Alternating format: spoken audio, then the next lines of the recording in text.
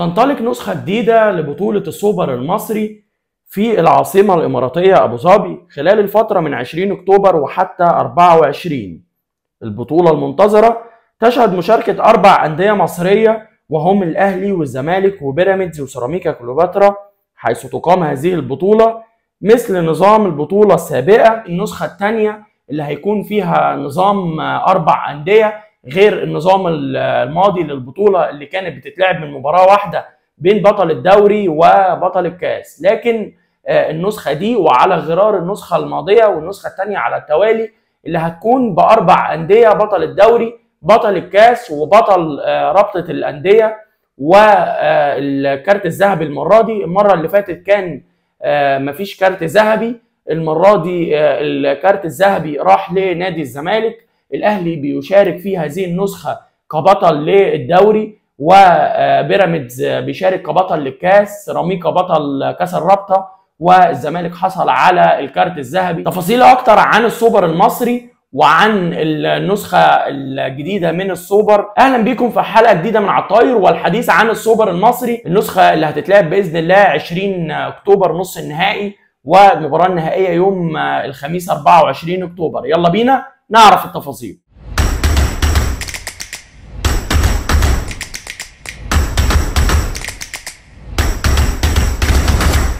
سجل أبطال السوبر عبر التاريخ يعتبر النادي الأهلي الأكثر تتويجا باللقب بواقع 14 مرة حيث نال اللقب في آخر ثلاث نسخ ويأتي الزمالك في الترتيب كتاني بواقع أربع ألقاب كان آخرها عام 2019 ويمتلك الثلاثي طلائع الجيش وحرس الحدود والمقاولين العرب لقب وحيد من السوبر المصري. السوبر اتلعب قبل كده 21 مرة. الأهلي الأكثر تتويجا 14 لقب وحامل اللقب آخر ثلاث نسخ. الزمالك حصل على اللقب أربع مرات وآخرها كان 2019 والمقاولين والحرس وطلائع الجيش حصلوا على اللقب مرة واحدة. والنسخة الحالية اللي هتتلعب في أبو ظبي بإذن الله هي النسخة رقم 22 من السوبر المصري.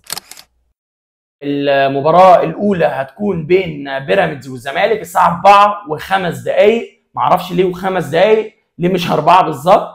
ولكن يعني الميعاد اللي تم تحديده للماتش ده هو أربعة وخمس دقايق لمباراة الزمالك وبيراميدز ومباراة الأهلي وسيراميكا.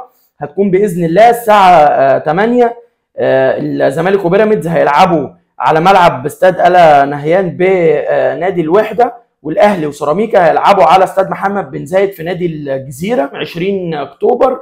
ويوم الخميس 24 أكتوبر المباراة النهائية مباراة تحديد الثالث والرابع هتكون على استاد الا نهيان يوم الخميس قبل المباراة النهائية. والمباراة النهائية هتكون في نفس اليوم على ملعب استاد محمد بن زايد في نادي الجزيرة يوم الخميس 24 أكتوبر. طيب تعالى نتعرف على تحضيرات كل فريق للسوبر. وطبعا الزمالك بيشارك بالكارت الذهبي هيلاعب بطل الكاس اللي هو بيراميدز. والأهلي بطل الدوري هيلاعب سيراميكا بطل كأس الرابطة. ده فيما يتعلق بالتفاصيل الخاصة بالبطولة. قبل ما نتكلم على تحضيرات كل فريق للبطولة الزمالك أول الفرق اللي وصلت لأبو ظبي للمشاركة في السوبر. لسه الأهلي وبيراميدز وسيراميكا ما وصلوش. بيراميدز كان عنده معسكر في تركيا خلص المعسكر ورجع على القاهرة وهيسافر من القاهرة على أبو ظبي. سيراميكا والأهلي بيتمرنوا في القاهرة ولسه هيسافروا على أبو ظبي بإذن الله. الجوائز المالية للنسخة دي من البطولة. الفائز بالبطولة هيحصل على 250 ألف دولار والوصيف 125 ألف دولار. صاحب المركز الثالث 75 ألف دولار وأخيرا صاحب المركز الرابع هيحصل على 50 ألف دولار. القنوات الناقلة للبطولة بالتاكيد اون تايم سبورتس المصرية هتنقل البطولة وأيضا أبو ظبي الرياضية هتنقل البطولة بإذن الله. البطولة قواعد البطولة أو الشكل الخاص بالماتشين بتوع نص النهائي. لو الماتشات انتهت بالتعادل في الوقت الأصلي هنلجأ لركلات ترجيح مباشرة دون اللجوء لوقت إضافي. يعني الوقت الأصلي لو انتهى بالتعادل هنروح لضربات ترجيح على طول. الكلام ده في نص النهائي. لو في نص النهائي الوقت الاصلي انتهى بالتعادل. هنلجأ لضربات الترجيح مباشرة دون اللجوء لوقت إضافي. ولكن المباراة النهائية مختلفة عن نص النهائي. في المباراة النهائية لو الوقت الاصلي انتهى بالتعادل هنلجأ لوقت إضافي شوطين إضافيين. بعد كده آه، ضربات الترجيح. مش آه، زي نص النهائي. نص النهائي التعادل نروح لضربات ترجيح. النهائي تعادل نروح لأشواط إضافية. ده فيما يتعلق بالنظام اللي تم تحديده للنسخة دي من البطولة. الزمالك زي ما قلنا أول الفرق اللي وصلت لأبو ظبي علشان تشارك في البطولة. أربع لعيبة من الزمالك موقفهم من الانضمام للقائمه كالآتي حسام أشرف لن يتواجد في القائمه بقرار فني من جوزيه جوميز. ونبيل دونجا والزناري هيكونوا موجودين على أمل إن هم يلعبوا ولكن بنسبة كبيرة مش هيشاركوا. عمر جابر جاهز للمباراة بعد تعافيه من الإجهاد العضلي اللي كان بيعاني منه. فعمر جابر هيشارك. الزناري ودونجا بنسبة 95% مش هيشاركوا. حسام أشرف بره القايمة. ده فيما يتعلق بالزمالك ولكن فيما عدا ذلك الفرقة كاملة متكاملة.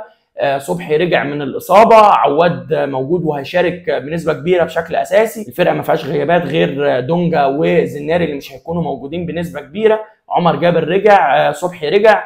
الخط الأمامي كله ما فيهوش مشاكل في الزمالك. ده فيما يتعلق بالزمالك. بيراميدز زي ما قلنا رجعوا من تركيا على القاهرة وهيسافروا من القاهرة على أبو ظبي. بيراميدز الفريق متكامل ما عندهمش غيابات. يعني اللعيبة كمان اللي كانت موجودة مع المنتخب راجعة يعني كلها جاهزة. جاهزين. للسوبر. فبيراميدز ما عندوش غيابات. جاهز. الزمالك جاهز. الماتش ده هيكون قوي جدا. ما اعتقدش إن المباراة هتبقى سهلة على الزمالك نهائي. ولكن أنا من وجهة نظري إن الزمالك أقرب للتأهل للمباراة النهائية على حساب بيراميدز. الزمالك جاي منتشي بفوزه بالسوبر الافريقي وانجاز السوبر الافريقي هيدي دفعة كبيرة جدا لنادي الزمالك امام بيراميدز. فتوقعاتنا للمواجهة الأولى إن الزمالك هيفوز على بيراميدز وأنا أتوقع إن المباراة دي هتنتهي بضربات الترجيح والزمالك هيتأهل على بيراميدز بضربات الترجيح. ده فيما يتعلق بالمواجهة الأولى. المواجهة الثانية الأهلي وسيراميكا. سيراميكا عمل تدعيمات كتير كانوا عاملين فترة إعداد في القاهرة للدوري وللسوبر. هيسافروا لأبو ظبي مباشرة من القاهرة على أبو ظبي. مش هيطلعوا أي معسكرات خارجية. سيراميكا عملت تدعيمات كتير وأغلب تدعيمات سيراميكا من بيراميدز. خدوا من بيراميدز زلاكا وفخري لقاي وكمان عبد الله مجدي وإسلام عيسى. أربع لعيبة من بيراميدز راحوا لسيراميكا. فبيراميدز في قصة انتقال لاعبين لسيراميكا. أربع لاعبين من بيراميدز انتقلوا لسيراميكا وهيكونوا موجودين مع سيراميكا في السوبر. الأهلي جاهز والفريق كامل وعندهم يعني دوافع قوية إن هم يعوضوا اللي حصل في السوبر الأفريقي. والأهلي كعادته ما بيخسرش بطولتين مهمين ورا بعض فالأهلي داخل مركز. وعايز يعوض اللي حصل له في السوبر الأفريقي والناحية الثانية زي ما قلنا الزمالك منتشي بالسوبر الأفريقي فالفرقتين بنسبة كبيرة توقعاتنا إن هم يكونوا موجودين في المباراة النهائية والجمهور جمهور الزمالك حجز الثالثه يمين في المباراة النهائية كاملة والثالثه شمال كاملة لجمهور الأهلي فيعني جاهزين للنهائي من دلوقتي ولكن لازم الأهلي يخلي باله من مباراة سيراميكا هتكون مباراة صعبة نفس الكلام الزمالك هتكون مباراة صعبة أمام بيراميدز ولكن توقعاتي لمواجهه الأهلي وسيراميكا إن الأهلي هيفوز في الوقت الأصلي وهيتأهل على حساب سيراميكا للمباراة النهائية.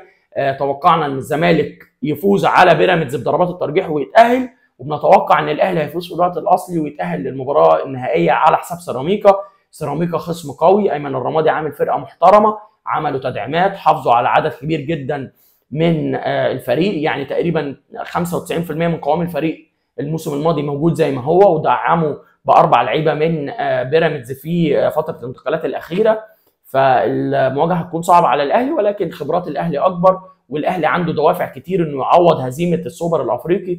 فتوقعاتنا إن الأهلي يفوز ويوصل للمباراة النهائية ويعني مستنيين مشاركتكم في التعليقات برأيكم وتوقعاتكم للمواجهتين مواجهة بيراميدز والزمالك مين الأقرب للوصول للمباراة النهائية ومباراة الأهلي وسيراميكا مين الأقرب للفوز والتأهل للمباراة النهائية. في السوبر المصري. ده كان استعراضنا للسوبر المصري للأندية الأبطال 2024 اللي هيقام في أبو ظبي في الفترة من 20 أكتوبر وحتى 24 أكتوبر. ده كان استعراضنا للسوبر المصري. شاركونا بأرائكم في التعليقات وتوقعاتكم آه، مواجهات نص النهائي وتوقعاتكم للسوبر المصري بشكل عام. مين الأقرب لتحقيق اللقب في النسخة الجديدة من السوبر المصري؟ شكرا على حسن المتابعة. سلام.